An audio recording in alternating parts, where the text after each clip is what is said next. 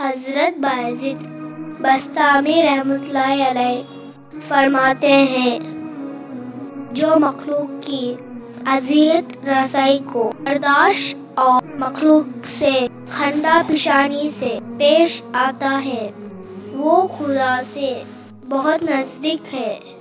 खुदा ने जिनके खुलूब को बारे मोहब्बत उठाने के काबिल तस्वर नहीं इबादत की तरफ़।